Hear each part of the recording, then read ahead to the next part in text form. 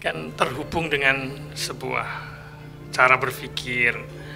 Kemudian kita membaca teman-teman kita di media status dan seterusnya. Jadi memang kurang lebih ya saya membaca itu. Kenapa saya mengangkat tema ini? Kemudian yang kedua tentu tidak lepas dari tema sebelumnya. Kita sudah pernah membahas self healing ya beberapa Oke, saat yang lalu betul. kemarin ya di mana healing itu kan intinya penyembuhan. Penyembuhan terhadap apa? Tentu saja lebih kepada hal-hal yang ya ini kita meminjam istilah luka ya karena lebih gampang ya. Jadi kalau secara fisik kita ini kan kadang suka luka misalnya karena jatuh ya karena mungkin ada yang kecelakaan ada yang kena apa pisau atau apa pun namanya yang itu memang kemudian membutuhkan P3K Oke.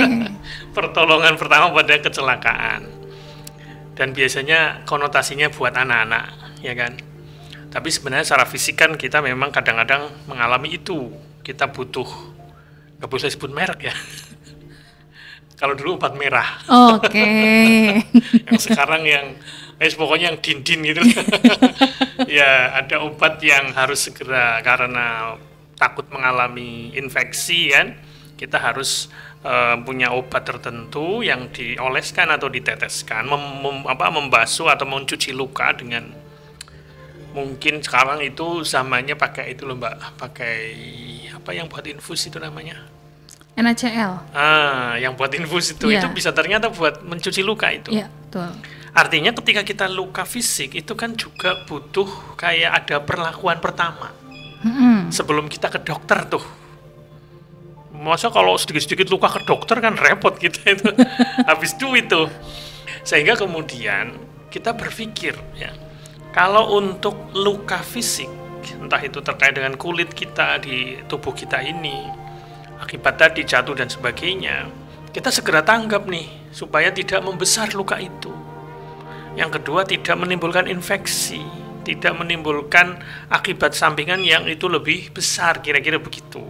Nah, sehingga kemudian kita berpikir kalau untuk luka fisik kita begitu tanggap, pertanyaannya kalau kita secara psikologis itu apakah kita akan biarkan?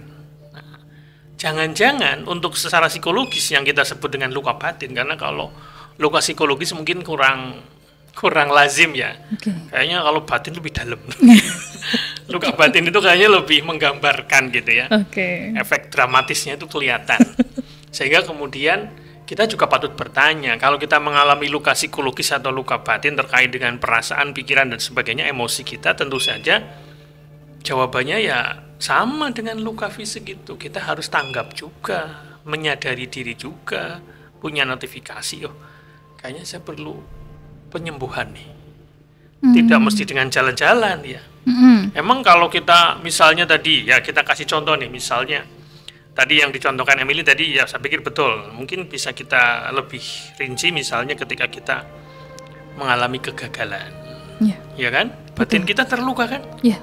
siapa yang mau gagal tapi kita juga bisa bertanya siapa yang nggak pernah gagal Iya. Nah, ketika kita gagal itu kan ada perasaan sedih tadi yang disampaikan Betul. Emilia tadi, kecewa gitu. Kenapa kok saya gagal? Kadang ada orang yang bisa lama loh itu mbak sembuhnya dari kegagalan itu. Itu baru satu kegagalan. Iya. Kalau gagalnya lima kali, Waduh. waduh repot lagi tuh. Maka kemudian kita juga mengenal ada kata terpuruk. Kayak, eh, lagunya siapa itu? Terpurukku ya. Nah, kemudian ditolak. Oh, Ditolak ini jangan selalu masalah lawan jenis. Ditolak itu bisa juga misalnya ditolak Itu pekerjaan bisa. atau kita diasingkan dari sebuah Betul. circle. Itu juga Ya. penolakan ya kan? Ya. Nah, kemudian kita terlalu punya rasa bersalah, itu juga menimbulkan luka batin tuh, rasa bersalah yang berlebihan. Itu bisa ngefek loh mbak ke kita itu. Kemudian dan cedera-cedera yang lain tadi ya. Ya mungkin karena kita gagal tadi, gagal apa diterima di sebuah pekerjaan, gagal misalnya studi, maunya daftar ini nggak diterima, ya kan? Gagal itu. Kemudian kesepian itu juga penting. perlu kita pahami kalau kita merasa kesepian itu apa yang harus kita lakukan. Tentu harus disembuhkan. Jangan kemudian sedikit-sedikit ke psikolog, sedikit-sedikit ke dokter jiwa. Wah, repot juga itu. Kan nggak mungkin kita kalau dapat sesuatu yang terkait dengan tadi itu misalnya gagal, kecewa, kemudian mesti lari ke profesi kesehatan mental seperti psikolog atau psikiatri atau konselor ya, guru BK bagi yang masih SMA misalnya. Kemudian punya rasa kehilangan, trauma, kayak gitu-gitu kan luka batin tuh. Rasa bersalah tadi sudah, kemudian gagal tadi sudah, rasa rendah diri itu juga kadang-kadang juga perlu kita deteksi. Nah, oleh karena itu, karena kita sudah menyadari bahwa sesungguhnya luka batin itu tidak kalah dengan luka fisik. Yeah. Efeknya, meskipun nggak kelihatan. Kalau luka fisik kan kelihatan tuh, kulitnya melepuh. Karena knalpot misalnya kelihatan, menghitam. Atau kulitnya uh, mengelupas. Atau lebih dalam dari itu, tulangnya patah. Ya kan, jari-jarinya bengkok misalnya. Atau mengsol bahasa Banyumas itu. Kelihatan tuh kalau luka fisik. Tapi luka batin meskipun nggak kelihatan itu juga luar biasa itu dalam pengertian ya itu menimbulkan sebuah kondisi yang tidak kalah gentingnya tidak kalah apa bahayanya dibanding luka fisik meskipun luka fisik juga kalau dibiarkan misalnya kita punya luka baru misalnya kemudian masuk infeksi itu bisa bermasalah itu apalagi misalnya mohon maaf ya kalau yang luka fisik itu misalnya orang kena diabetes Wah, itu bisa berakibat pada amputasi. Ya. Maka luka itu harus dirawat, kalaupun tidak bisa disembuhkan. Nah, sama luka batin itu juga dirawat. Dirawat itu maksudnya bukan untuk dibiarkan, maksudnya dirawat itu artinya ditangani, kemudian diresapi dan kemudian itu coba sedikit demi sedikit untuk diatasi. Itulah yang dimaksud dengan penyembuhan. Jadi yang pertama tema tentang luka batin ini kita harus tahu bahwa kadang-kadang dalam hidup ini kita mengalami uh, tadi emosi tadi yang apa ya dalam tanda kutip ya yang membuat emosi negatif ya misalnya tadi karena kita gagal kemudian kita mengalami kesedihan yang berkepanjangan kemudian kita misalnya ditolak kita mengalami apa kalau ditolak? Ya mungkin merasa jadi rendah diri ya. Kenapa kok saya kok nggak diajak oleh temanku yang itu misalnya? Yeah kenapa di grup itu kita saya kok dikeluarkan misalnya? Kok saya nggak diajak? Macam-macam gitulah. Perasaan nggak diajak itu kan jadi merasa kayak ada penolakan kayak merasa jadi sendiri loneless ya. Kemudian juga sepi tadi. Sepi itu misalnya ya ya mungkin bagi mereka yang baru ditinggal uh, oleh keluarga terdekat barangkali ketika dia biasa bertiga berdua berempat Nah, tinggal sendiri misalnya. Ini biasanya dialami oleh orang-orang lansia yang anak-anaknya sudah pada misah kalau bahasa hmm. banyak bahasa bahasa Jawanya itu. Sudah pada berkeluarga, itu kan orang tua jadi merasa sendiri. Dan macam-macam. Berbagai contoh luka batin ini tentu saja kita harus satu mengenali, kemudian yang kedua coba ya punya inilah kayak semacam mekanisme diri untuk menyembuhkan. Meskipun barangkali ya kesembuhan yang total itu nanti pada akhirnya mungkin harus ada dokternya.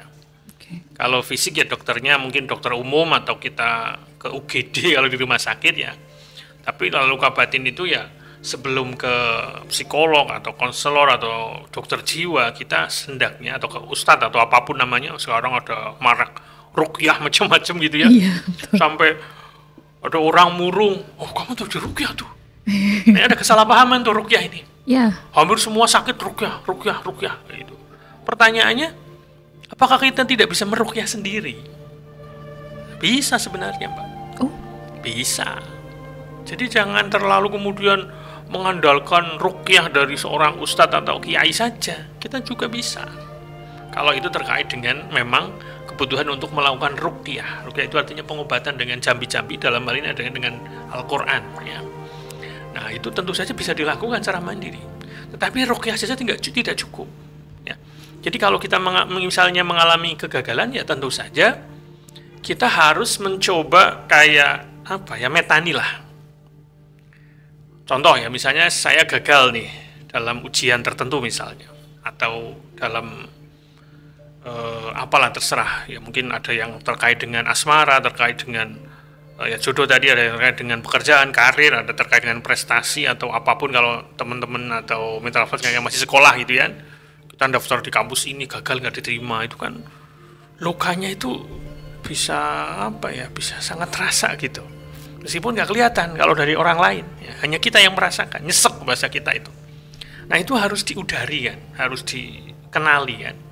Yang pertama tentu saja eh, sebelum ke agama ya kita harus mencoba untuk berpikir.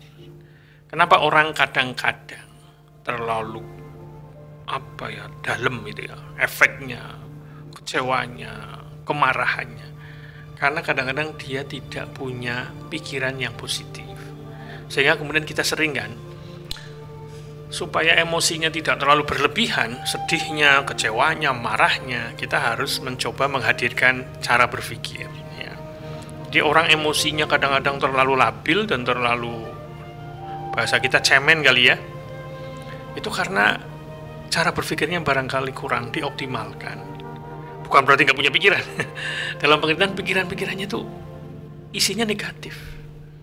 Nah salah satu cara menyembuhkan luka yang seperti ini adalah menguji cara berpikir kita. Misalnya ketika orang gagal mungkin cara berpikirnya kayak gini oh, berarti saya bodoh. Saya nggak mungkin berhasil. Coba kalau pendirian kayak gitu di, dibiarkan. Kan repot tuh. Nah sehingga kemudian cara yang paling efektif itu tentu saja adalah kita mengubah cara berpikir kita. Betulkah saya bodoh? Nah, kadang-kadang gitu.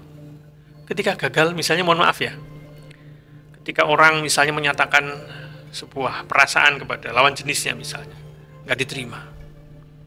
Apakah kemudian kita berpikirnya kayak gini? Oh, saya jelek kayaknya. Saya nggak layak.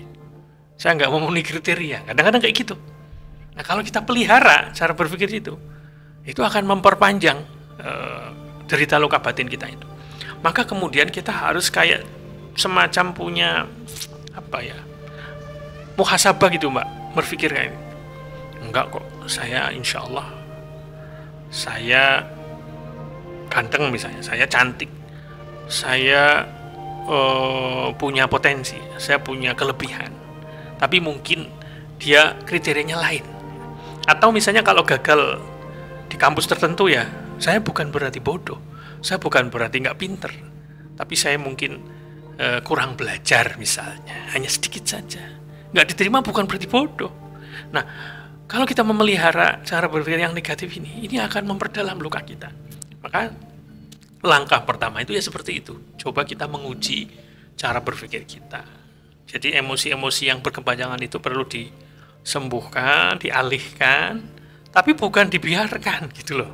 Hmm. Nah, dibiarkan itu artinya ya, lah biarin aja lah, gitu loh. Karena kalau kita begitu memelihara yang pikiran-pikiran negatif itu, kita akhirnya nggak mau nyoba lagi. Nah, tentu saja karena ini berada Islami, Mbak. Selain bagaimana kita mengubah cara berpikir, kemudian kita mencoba bukan mengalihkan ya, tapi intinya e, merubah dari kondisi yang terpuruk tadi, yang emosinya negatif tadi, mencoba untuk pelan-pelan gitu ya, mengubah prinsip, cara pandang supaya tidak selalu menyalahkan diri tadi. Nah, kira-kira seperti itu. Nah, tentu saja terkait dengan acara kita, kita juga harus atau bisa dengan pendekatan agama. Nah, itu pengantar dari saya, Pak. Nanti setelah ini kita akan ber apa ya, berdiskusi lagi menyampaikan tentang bagaimana agama kita menuntun supaya luka batin yang kita alami, entah itu tadi yang disampaikan Emily tadi, kesedihan yang mendalam, ditolak, kesepian, rasa kehilangan, punya pengalaman negatif sehingga kita ada sedikit agak traumatis gitu ya. ya. Kemudian rasa bersalah ini dalam diri kita kemudian gagal, rendah diri karena mungkin karena di di apa ditolak, kemudian dia rendah diri. Ya.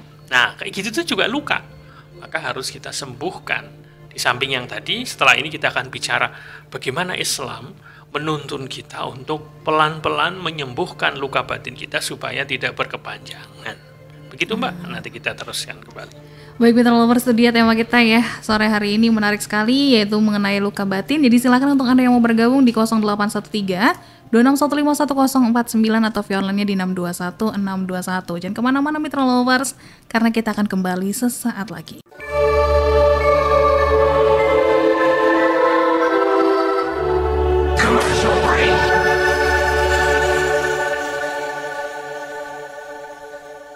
Mitra Lovers kita masih mendengarkan beranda Islami ya Sampai nanti di jam setengah 6 sore Dan saya masih buka kesempatan untuk Anda yang mau bertanya secara langsung Boleh lewat SMS ataupun WhatsApp di 081326151049 atau via online di 621621 Dan tadi Mitra Lovers kita sudah membahas ya apa tema kita hari ini yaitu luka batin Dan seperti yang sudah disampaikan oleh Pak Fuad tadi Kita lanjutkan kembali ya Pak Fuad ya Ya, Jadi gimana nih kalau menurut uh, agama kita nih Pak? ya. Jadi selain tips-tips yang bisa kita pelajari dari buku-buku self-help barangkali ya. Misalnya ini Mbak, saya kemarin habis beli buku ini judulnya Pertolongan Pertama pada Emosi Anda. Waduh, Jadi kita ternyata kalau dapat emosi-emosi negatif tuh yang tadi kita kasih contoh ditolak, gagal, kemudian apalagi kesepian itu harus ada penanganan secara mandiri dulu. oke. Nah, tentu saja ini panjang ya kalau kita pakai perspektif ini. Karena kita berada Islami ya, saya pikir kita harus melengkapi. How to, how to itu artinya bagaimana teknik-teknik. Mungkin ada yang nafas panjang gitu ya, Betul. ada yang yoga, Betul. meditasi, jalan-jalan. jalan-jalan itu kadang-kadang itu untuk sementara saja, Pak. Begitu Ya. pulang rumah, oh pikirannya kita masih negatif, nah, iya kan? Kembali lagi tuh. Jalan-jalan itu hanya untuk mengalihkan sementara saja. Ada hal yang lebih panjang yang harus kita lakukan. Nah, kita kembali ke agama ya. Dalam Islam itu kalau kita baca Al-Qur'an nih surat ayat eh, surat Ar-Ra'd ayat 28 di situ ada kata-kata ala bizikrillah tatmainnul qulub. Ingatlah hanya dengan mengingat Allah hati akan menjadi tentram. Jadi kiat agama itu ketika kita mengalami kejadian-kejadian yang tadi membuat kita gelisah, membuat kita kecewa, membuat kita marah, sedih yang mendalam dan seterusnya, maka caranya adalah mengingat Allah dengan berzikir. Ya, dari mulai zikir misalnya dengan menyebut misalnya inna lillahi wa inna ilaihi roji'un misalnya ketika kita ditinggal oleh keluarga terdekat. Itu kan kita dituntun untuk mengembalikan bahwa kita ini milik Allah dan kita akan kembali kepada Allah. Kemudian zikir-zikir yang populer dari mulai istighfar dari mulai tahlil la ilaha illallah itu perlu sering dilafadzkan. Subhanallah walhamdulillah. Itu sebenarnya kita sudah punya mekanisme seperti itu mbak untuk menyembuhkan luka batin itu. Tapi ya jangan zikirnya kalau kita dapat luka batin saja kalau pas kita bahagia juga tetap berzikir kan. Alhamdulillah mengembalikan kepada Allah bersyukur. Nah itu itu adalah sebuah cara untuk eh, menjaga hati kita. Kemudian yang berikutnya sebenarnya termasuk zikir juga mbak. Kalau di mungkin Emily sering dengar lagu Iktiraf Ya, Nah, ilah ilah stulil firdaus itu kemudian di- digabung dengan obat hati, ya kan? ya betul. Obat hati ada lima perkaranya gini kalau bahasa Indonesia, kalau bahasa Jawanya tombo hati, nah, kayak gitu kan? betul. Ono limo perkara nih. Nah, mari kita lihat. Yang pertama adalah kalau di situ berarti eh, kaping pisan moco Quran sama nani misalnya Iya. kan gitu ya. Berarti membaca Quran. Membaca Quran. Kalaupun kita belum tahu artinya, Mbak, itu punya efek itu, Mbak. Jadi dengan membaca Quran itu, insya Allah asal kita yakin ya, karena kita mau me- apa, mengembalikan diri kita kepada Allah gitu ya. Insya Allah pandangan kita terhadap masalah kita, termasuk yang baru menimpa, itu bisa lebih apa bahasa kita ya, ya tidak terlalu dalam lah. Artinya kita bisa meredakan diri kita dengan baca Quran itu. Apalagi kalau sampai tahu artinya, Pak. Wah, itu bagus lagi. Apalagi baca Qurannya pakai lagu. nah, itu akan bagus lagu yang sederhana lah, ya, yang kumurotau.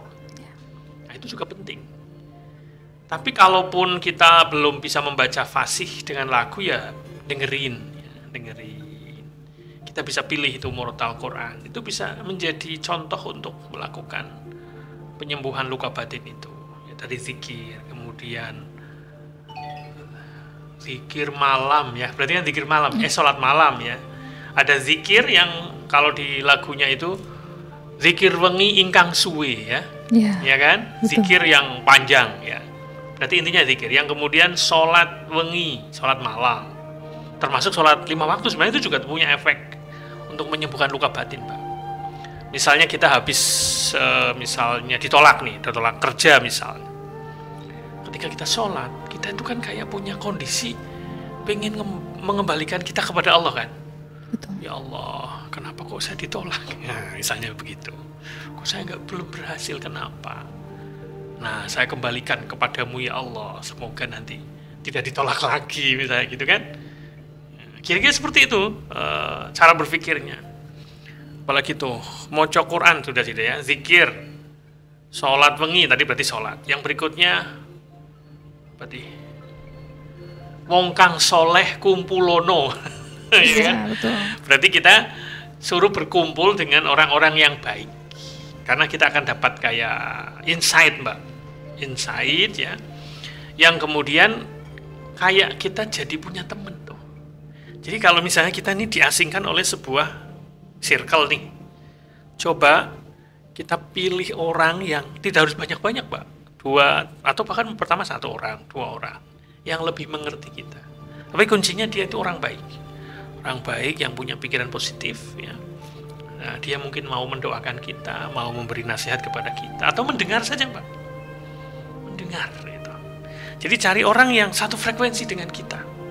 Insya Allah dengan punya teman itu di samping kita punya efek peredaan tadi kalau dalam bahasa psikologi namanya katarsis kita meredakan diri supaya tidak terlalu diperturutkan tuh rasa kecewanya tadi juga kita akan kemungkinan dapat informasi dari teman itu mungkin terkait dengan masalah kita. Nah, jadi jangan takut kalau kemudian kita diasingkan oleh sebuah circle.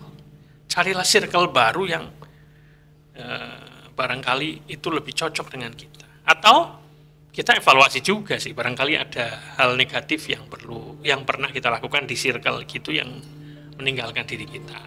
Tapi kalau kita ngerasa nggak punya salah ditinggalkan ya ya memang mereka itu mungkin kurang cocok dengan kita.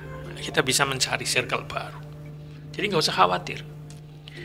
Kemudian tentu saja kita harus ridho. Ya, ridho itu artinya menerima jadi apa pun yang terjadi itu itu atas kehendak Allah sudah terjadi sih. Ya, kalau belum ya kita berusaha. Tapi ketika sudah berusaha kuat, kok kemudian hasilnya mengecewakan, kita mencoba meng- mengembalikan kepada Allah. Kita terima, kita ridho. Bahasa kita lebih gampangnya kita ikhlas. Ikhlas itu artinya ridho kalau di dalam obrolan kita sehari-hari. Seperti kita misalnya, eh, kita ngasih sesuatu misalnya, ini saya kembalikan ya, nggak usah, saya ikhlas kok. Nah, itu maksudnya kita rela kok. Nah, gitu, kira-kira seperti itu.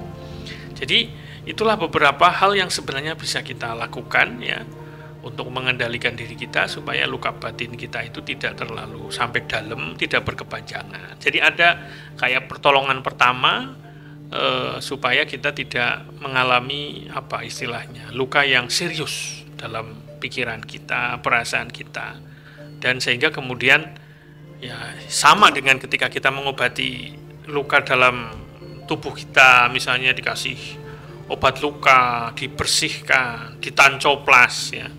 Plester maksudnya. Dikasih plester. Terus di apalagi pak? Dikompres lukanya misalnya dengan eh, perban misalnya. Macam-macam itu. Nah ketika kita mengalami luka batin juga harus begitu. Jangan dibiarkan. Menganga begitu lama jangan karena sedih berkepanjangan memperturutkan marah yang berkepanjangan kemudian apalagi rasa dendam yang berkepanjangan, wah itu bahaya itu. Kalau itu ditumpuk terus, wah itu suatu saat bisa meledak itu. Entah itu dalam bentuk mungkin ada yang orang yang histeris, ada orang yang melakukan perbuatan yang merusak diri Iya. dan sebagainya. Nah itu itu memang butuh latihan, mbak. Jadi insya Allah agama ini sebenarnya sudah menyediakan seperangkat, bukan seperangkat alat sholat, seperangkat untuk mencoba membantu manusia untuk menyembuhkan luka batinnya. Sebelum dia datang ke ustadz, sebelum dia datang ke psikolog, sebelum dia datang ke eh, dokter jiwa dan seterusnya. Bukan berarti kita nggak boleh ya, tapi kalau sedikit-sedikit dokter jiwa repot itu kita, ya kan? Ya kalau memang belum sampai tahap gangguan mental hanya sekedar kesedihan, nah itu jangan jangan dibiarkan. Kita harus segera. Memang kata harus itu kesannya jadi kita kayak dipaksa ya, tapi ya memang begitu ya dalam diri kita ini kan kita tuh kayak kadang-kadang kalau tidak dididik diri kita ini akan membiasakan dapat sesuatu dipikir terlalu dalam gitu. Negatif terus pikirannya. Menyalahkan dia terus atau menyalahkan diri terus wah repot itu. Sesuatu terjadi itu tidak bisa hanya satu faktor termasuk hal-hal yang mungkin menyangkut dengan kematian keluarga terkait dengan apa kegagalan tadi terkait dengan macam-macam itu. Nah itu kita harus mencoba untuk berpikir rasional tetap sehat sehingga kemudian emosi yang negatif itu tidak berkepanjangan. Nah, kalau kita mencoba eh, berpikir realistis oh iya ini kayaknya kemarin begini. Di samping tadi kita serahkan kepada Allah bahwa ini sebuah takdir insya Allah nanti emosi yang negatif tadi itu entah itu kecewa yang berkepanjangan sedih berkepanjangan merasa kesendirian yang berkepanjangan itu akan dirubah. Sedikit-sedikit menjadi positif. Kalaupun dia sendiri ya dia bisa mencari teman gitu ya. Kadang kita suka menik kadang kita perlu menikmati kesendirian kan mbak? Ya, nggak mesti harus bersama temen terus nggak bisa. Kita itu kadang kalau bahasa eh, viralnya itu me time. Me time. Wah, me time itu. Entah itu di rumah dengan masak. Itu bagus juga. Entah itu masak entah itu mengerjakan sesuatu yang terkait dengan pernak-pernik bersih bersih rumah. Kemudian macam-macam itu. Ya. itu bisa menjadi kesibukan sehingga tidak terlalu menjidiri banget ya. Tapi di luar tadi masak di luar bersih bersih di luar ngapain itu jangan lupa menjaga pikiran ya. Kemudian kita juga mengembalikan secara spiritual bahwa Allah ada dekat dengan kita. Allah melihat apa yang kita alami.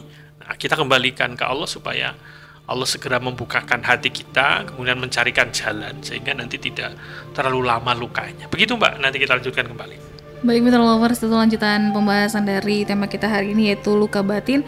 Masih ada kesempatan untuk Anda yang mau bergabung, silahkan Mitra Lovers yang mau bergabung untuk bertanya secara langsung di 0813 26151049 atau via online-nya di 621 621. Jangan ke mana-mana, kita akan kembali sesaat lagi.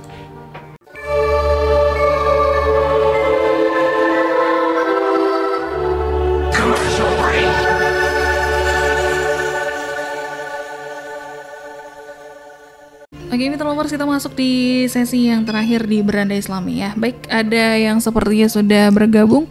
Kayak kita coba angkat dulu ya. Eh, kok hilang? Hah? hilang lagi. Oke, masih ditunggu Mitra Lovers untuk Anda yang mau bergabung silahkan di 081326151049 atau via online-nya di 621621 ya. Silahkan masih dibuka sampai nanti di jam setengah 6 sore. Oke deh, kita lanjutin lagi ya Pak Fuad. Eh, tapi gimana nih Pak Fuad kalau misalkan kita udah terlanjur, mungkin kan tadi eh, kayak pertolongan pertama gitu ya. Iya. Mungkin ada orang-orang yang tipe-tipe eh, nggak langsung bisa eh, inget sama Allah, misalkan kayak Iya. lagi dapat kegagalan dan sebagainya itu kayak yang langsung terpuruk begitu aja nih Pak. Dan sampai akhirnya dia eh, apa namanya? mungkin mengalami beberapa kegagalan yang lain atau mungkin perlakuan gak enak yang lain dan akhirnya udah udah bener-bener numpuk nih ternyata apakah pertolongannya masih sama pak? Kalau sudah sampai seperti itu ya menurut saya memang membutuhkan ahli. Ahli di sini bisa ahli agama, bisa psikologi ya, tapi sebaiknya yang mengawinkan keduanya. Jadi tinjauan psikologis termasuk spiritual. Karena agama itu menjadi eh, modal yang perlu kita gali ya. Jadi kalau orang yang sudah terpuruknya terlalu lama ya itu butuh tadi ya minimal dia berkonsultasi pada orang yang ahli ya untuk bisa mengurai ya, mengudari ya. Kira-kira ada hal-hal apa yang barangkali selama ini kita pendam. Nah, ketika kita bercerita itu kan pasti akan mencoba uh, ya tahulah kira-kira uh, kenapa itu terjadi. Kemudian apa pikiran-pikiran kita? Itu akan ditanya oleh konselornya atau oleh ustadznya atau psikolognya. Nah, kira-kira kenapa begitu misalnya ya? Misalnya kita mulai dari penolakan nih penolakan ya. yang paling gampang tuh misalnya ditolak uh, dalam sebuah pekerjaan. Padahal kita udah yakin banget tuh udah sesuai banget tuh ijazahnya yeah. pas kompetensinya kok ditolak? Nah kemudian kita karena tidak langsung menyadari itu kita berlama-lama gitu ya kemudian wah berarti saya nggak cocok ini. Dikerja dalam bidang yang saya inginkan. Saya mau jadi misalnya langsung dia mengambil pikiran mau jadi tukang ojek saja misalnya kayak gitu. Padahal baru nyoba sekali ya. Yeah. nah kalau sudah seperti itu ya tentu saja dan kemudian dia kayaknya nggak menikmati pekerjaannya ya barangkali ya. Apalagi kalau sampai melakukan hal-hal yang negatif tadi ya. Terkait dengan apa ya perilaku yang merusak diri ke narkoba macam-macam. Itu panjang akibatnya kan. Nah, sehingga kemudian memang e, untuk orang-orang yang sudah dalam pengertian koyo terlalu apa efeknya terlalu dalam buat dia kemudian dia kayak hidup tuh kayak nggak semangat gitu ya kerja juga kayak terpaksa gitu. Nggak ada nggak pernah senyum nggak pernah gaul. Nah orang-orang seperti ini memang kalau dia sudah menyadari ada yang salah dalam dirinya dan dia mencoba untuk menyembuhkan luka itu ya itu harus dengan ahli. Kalau hmm. dalam agama kita itu namanya fasalu ahla zikri in kuntum la ta'lam. Jadi bertanyalah kepada ahli zikri orang yang berpengetahuan orang yang ahli dalam sebuah masalah misalnya kalau dalam konteks masalah ini. Ketika kalian tidak tahu gitu ya. Jadi itu. Tetapi tentu saja eh, perlibatan ahli itu tidak menghilangkan upaya diri kita. Misalnya gini contoh ya. Ini kembali ke tadi bagaimana cara kita mengobati luka batin itu. Selain mendatangkan ahli itu ya karena sudah parah ya. Tapi sebelum ke sana ya selain yang sudah kita sudah baca ya kalau dari sisi agama ya tadi coba kita cek kembali sholat kita. Yuk mungkin selama ini sholat kita kayak kurang dinikmati barangkali. Coba belajar menikmati sholat kita. Karena sholat itu kayak yoga kan kayak meditasi sebenarnya. Yeah. jadi kalau kita sudah sholat nggak perlu meditasi sebenarnya pak. Nggak perlu yoga yogaan itu pak gerakan sholat itu udah luar biasa sebenarnya kalau kita sadar loh ya Cuma kan kita kayak kesannya sholatnya nggak dinikmati, jadi akhirnya nggak ngefek ke kita. Ya. Barangkali itu yang perlu dilakukan. Kemudian coba mendengar pendapat orang lain. Ya. Coba ngobrol dengan temen, mungkin dia punya perspektif yang bisa kita ambil. Kayaknya saya selama ini salah deh persepsinya. Ini kayaknya pendapat kamu itu, wah ini kayaknya cocok nih kayak gitu tuh. Jadi kadang-kadang dengan ngobrol itu kita punya oh iya ya kita kayak punya koreksi ya. Oh, saya selama ini salah. Nah kayak gitu tuh. Tapi kalau kita nggak mau ngobrol nggak mau bersilaturahim dengan temen ya akhirnya kita jadi kayak hidup di dalam tempurung ya katak dalam tempurung tuh nggak punya perspektif lain. Itulah cara-cara yang barangkali bisa uh, apa mengobati luka batin kita itu. Encounter bahasa psikologinya. Encounter itu artinya menjalin keakraban dengan teman. Tentu keakraban yang sesungguhnya persaudaraan gitu ya saling mengenal saling bertukar pikiran. Coba lihat perspektif orang jangan cuma pakai perspektif diri ya. artinya ketika kita ngobrol itu dengan teman itu komunitas itu kita punya komitmen bahwa saya ingin mendengar. Coba dengarkan. Jangan tutupi uh, hati nurani anda dengan tidak mau mendengar kira-kira seperti itu. Uh, ya misalnya juga yang bisa kita lakukan juga. Sekali-kali coba jeda. Jedanya ya mungkin bisa dengerin lagu ya dengerin musik. Karena musik itu bisa uh, melembutkan hati. Ya, tentu saya musiknya jangan musik yang kakaru-karuan oh lagi luka batin dengernya lagu patah hati terus. Ya itu akan mempengaruhi. Coba dirubah musiknya. Yang kira-kira positif. ya apalagi kalau kita tahu artinya ya meskipun itu berbahasa Inggris berbahasa Arab solawat gitu ya. Kalau kita tahu artinya bagus tuh ya kalaupun tidak tahu ya ya dengerin musik itu tetap bagus lah ya. Ya nah, ada beat-beat yang kayak dalam diri kita itu kayak kayak membuat kita itu kayak ya apa ya bahasa kita itu.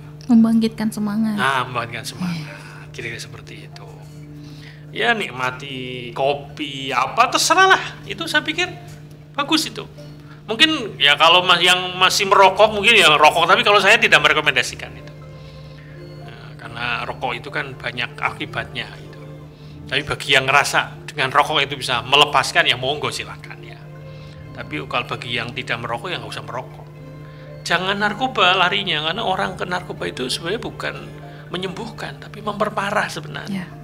Karena narkoba itu punya efek bukan hanya fisik tapi juga psikologis. Pikiran kita jadi susah untuk menerima pendapat orang, tertutup itu. Dari dia dari apa dampak dari obat itu tidak kemudian juga melarikan diri dari masalah. Masalah yang kita alami itu sebenarnya bisa kita kayak kita gini mbak, misalnya kita kebeler nih, kita kadang kayak, kayak takut gitu ya dengan luka yeah, sendiri kan. Betul. Iya. Tapi coba rasakan, perih. Kita coba, ih misalnya begitu ya, kita kayak rasakan oh, perih gitu ya. Tapi kan jadi kayak, oh ternyata nggak se seheboh yang kita Kadang-kadang kita itu kan terlalu berlebihan menanggapi luka fisik kita itu. Dan melarikan diri dari masalah misalnya. Nah, tapi kalau kita mencoba, oh, kenapa saya begini? Ya, barangkali begini. Yang jelas, hadirkan berbagai perspektif. Jangan cuma perspektif negatif saja. Nah, kebanyakan orang kalau dapat tadi ya, peristiwa-peristiwa yang ditolak, gagal, itu kemudian perspektifnya negatif Nah, mungkin kurang baca buku kali. Nah, baca buku kalau begitu. Buku-buku self help itu bagus juga untuk uh, secara mandiri kita mengenali diri kita. Oh, saya kurangnya ini. Harus ada latihan ini. Kayak gitu-gitulah. Insya Allah lama-lama akan ketemu. Kemudian jangan kemudian kita nganggur-gur. Kita harus ber menyibukkan diri kita, ya, menyibukkan sesuatu yang positif. Lakukan hal kecil yang positif. Dari mulai lari pagi dengerin musik yang positif. Tadi masak macam-macam itu. Monggo itu bisa sedikit ya bukan sedikit. Banyak mengobati diri kita supaya tidak terlalu tersibukkan dengan masalah yang tadi itu itu dengan kegagalan ditinggal orang yang kita cintai kesepian macam-macam. Ya bahasa kita jangan lama-lama itu bahasa kita ya kita harus move on katanya. Kira-kira seperti itu mbak. Waktunya habis ya. Baik, intinya mitra sekalian Emily jadi jangan lupa agama itu menyediakan seperangkat supaya kita bisa mengobati diri kita dengan ibadah yang kita lakukan, dengan doa yang kita lakukan. Insya Allah kita akan coba uh, lebih cepat dalam menyembuhkan luka batin kita. Demikian Mbak Emily, semoga bermanfaat. Assalamualaikum warahmatullahi wabarakatuh. Waalaikumsalam warahmatullahi wabarakatuh. Baik, terima kasih sekali untuk Bapak yang sudah hadir sore hari ini dan terima kasih juga untuk Anda Mitra Lovers yang sudah mendengarkan dari awal sampai selesai sekarang. Yang pastinya terus dengarkan Beranda Islami setiap hari Kamis jam setengah lima sampai dengan setengah enam sore hanya di Mitra FM Purwokerto. Kalau gitu saya pamit dan jangan lupa tetapkan Mitra sebagai pilihan terbaik Anda.